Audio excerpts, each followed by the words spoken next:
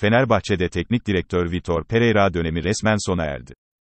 Sarı lacivertliler, kamuoyu aydınlatma platformuna yaptığı açıklamada, Portekizli çalıştırıcının sözleşmesinin feshedildiğini duyurdu.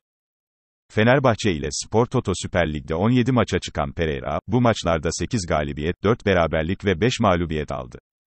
Sarı lacivertliler ligde 5. sırada yer alıyor. Fenerbahçe Spor Kulübü resmi hesabından Vitor Pereira açıklamasında bulundu ve Portekizli çalıştırıcıya şimdiye kadar gösterdiği çaba için teşekkür edildi.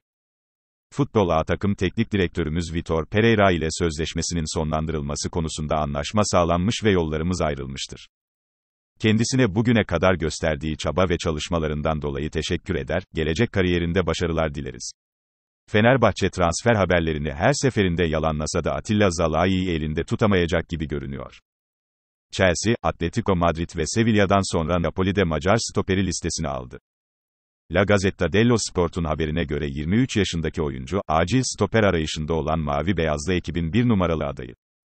Ocak ayında Kalido Koulibaly'nin Senegal milli takımı adına Afrika Uluslar Kupası'na, Kostas Manolas'ın da Olympiakos'a gidecek olması nedeniyle Napoli, stoper arayışına hız verdi. Haberde Everton'dan yeri Mina gündeme gelse de Atilla Zalai'nin bir adım önde olduğunun altı çizildi. Macar oyuncunun transferinin kolay olmadığı ancak Napoli'nin Elif Elmas transferinden dolayı Fenerbahçe ile iyi ilişkilere sahip olduğu hatırlatıldı. 30 Haziran 2025'e kadar sözleşmesi bulunan oyuncu için Sarı Lacivertli yönetim 20 milyon euro istiyor. Sarı lacivertlilerin yeni hocası da büyük ölçüde belli oldu, o isim Slaven Bilic olduğu öğrenildi. Fenerbahçe yönetimi, Hırvat çalıştırıcı ve ekibiyle prensip anlaşmasına vardı. Tarafların senelik 2.9 milyon euro maaş üzerinden el sıkıştığı öğrenildi. Bilic'in, kendisiyle görüşüp teklif getiren Beşiktaşlı yetkililere, takım isim vermeden, teklifinize teşekkür ederim ancak ben başka bir takımla anlaştım, dediği kaydedildi. Bilic, 3 Ocak'ta Beijing Guo'nun başında son maçına çıkacak. Ardından sarı lacivertlilerden haber bekleyecek.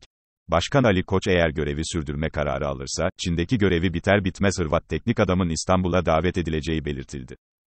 Ardından Bilic ile görüşmelerde yapılan planlama çerçevesinde transfer çalışmaları gerçekleştirileceği kaydedildi.